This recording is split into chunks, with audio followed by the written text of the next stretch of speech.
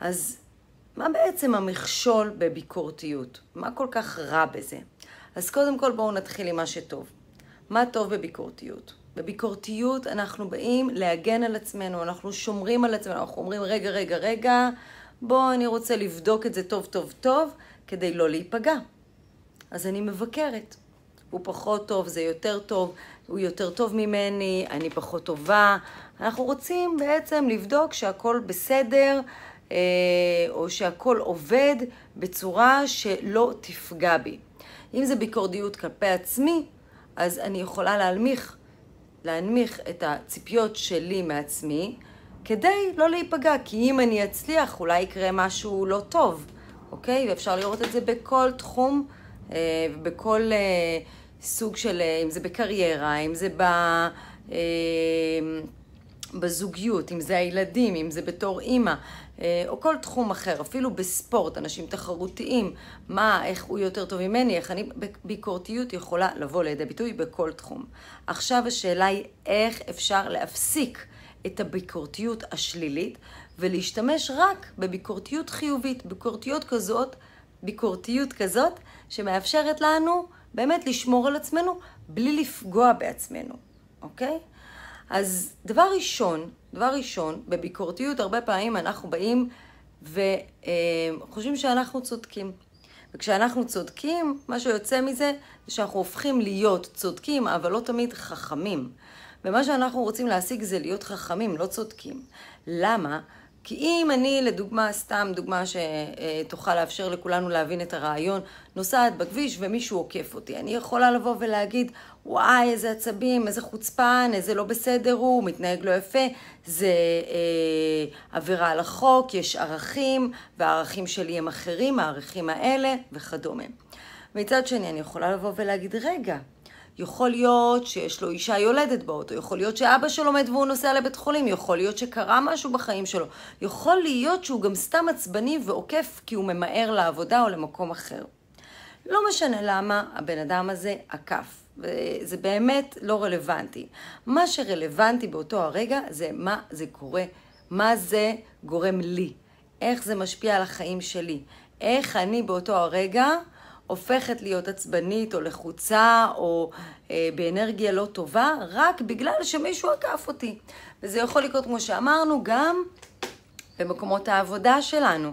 כשמישהו אומר לנו משהו ואנחנו לוקחים את זה אישית כאילו הוא התכוון למשהו רע כלפינו. אבל אם נבדוק את זה, הוא התכוון למשהו חיובי כלפיו, פשוט אנחנו לוקחים את זה באופן אחר. אז דבר ראשון, בשביל להפסיק להיות ביקורתי וכן לאפשר לעצמו להרגיש טוב. קבלה. לקבל את האחר כמו שהוא. ברגע שאנחנו משחררים את הניסיון לשנות אחרים ומבינים שיש כל מיני אנשים, אנחנו מקבלים אותם כמו שהם, במיוחד נגיד בזוגיות זה מאוד חשוב, זה טיפ מאוד חשוב לזוגיות, אוקיי? ככה הוא. אז אני פחות ופחות לוקחת ללב, זה פחות משפיע עליי. וזה מאפשר לי להמשיך את היום שלי ברוגע, בנחת, למטרות שלי, ליעדים שלי, לדברים שחשובים לי באמת. אז דבר ראשון זה קבלה. דבר שני זה לא להיות צודק, להיות חכם. כי אם אני צודקת, אז אני אתחיל להתווכח ולריב ולעמוד על שלי, אבל לא תמיד זה רלוונטי. מתי זה כן רלוונטי? וזה מוביל אותי לדבר השלישי, והוא לדעת מה אני רוצה, מה חשוב לי, לדעת מה אני רוצה, מה המטרה שלי. אם יש לי מטרה, סתם לדוגמה, בכביש זה פחות uh, רלוונטי, אבל גם בכביש, אם המטרה שלי להיות רגועה, אז אני אעשה הכל בשביל להיות רגועה ואני אשחרר את הדבר הזה. אם בעבודה הבוס שלי אמר לי משהו לא נעים, ולקחתי את זה אישית וזה נורא מפריע לי, אני יכולה לבוא ולהגיד לו, תשמע, המטרה שלי כאן היא 1, 2, 3. זה לא מתאים לי. אני לא חושבת שבאתי בשביל זה, אני לא חושבת שזה נכון לחברה, אני לא חושבת ש... פשוט להסביר את עצמי. לקחת אחריות על המחשבות שלנו ועל הרגשות שלנו ולהתנהגות שלנו. כשברור לנו מה המטרה שלנו, כשברור לנו שאנחנו לא באים לשנות אף אחד, אלא אנחנו יכולים לקחת אחריות על התוצאות שלנו. וכשברור לנו שאנחנו בקבלה. זה ככה. סתם לדוגמה, ניתן דוגמה קטנה אם זה בנושא עבודה. ובאתי לבוס שלי ואמרתי לו, תשמע, לא מתאים לי ככה וככה מה שהצעת, אני לוקחת אחריות על התוצאה. אני מקבלת מה יקרה, גם אם זה לא מתאים לו, אוקיי? אז לסיכום, שלושת הדברים החשובים. הדבר הראשון, זה מטרה, לדעת מה המטרה שלי בכל סיטואציה, סיטואציות קטנות וסיטואציות גדולות, מה אני רוצה להשיג. ובדרך כלל המטרה תהיה משהו חיובי וגדול. לדוגמה, בבית זה יהיה אה, שיהיה שלום בית, שיהיה כיף בבית, שיהיה לנו נעים ביחד. בעבודה זה יהיה או שאני רוצה לעבוד שם או שלא, ובאיזה תנאים אני מוכנה לעבוד, לא בכל מחיר. ואם בכל מחיר, אז אנחנו עוברים לשלב השלישי. תהיי חכמה ולא צודקת, או תהיה חכם ולא צודק.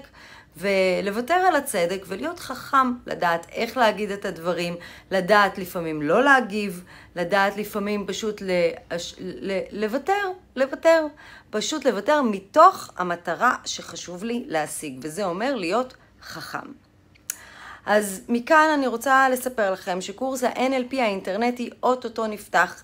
אתם מוזמנים להצטרף אלינו לקורס האינטרנטי המלא של 22 שיעורים, קורס שבו אנחנו לומדים מאלף עד תף איך לשנות הרגלי התנהגות, לאזן רגשות ולשנות מחשבות ממחשבות שליליות לחיוביות, איך לתקשר באופן אידיאלי. באמת, אתם יכולים לראות את הסילובוס של הקורס, הוא מאוד מאוד עשיר בתכנים, פרקטי, והוא כמובן מצורף אה, יחד עם כל, כל, כל התכנים של הקורס הפרונטלי, כולל תכנים לקורס האינטרנטי המיוחד, שעובר שדרוג כרגע ומאפשר לנו לעשות את זה במינימום זמן עם מקסימום טכניקות וכלים לתרגול עצמי ולתרגול בזוגות ולהנחיה של אדם אחר.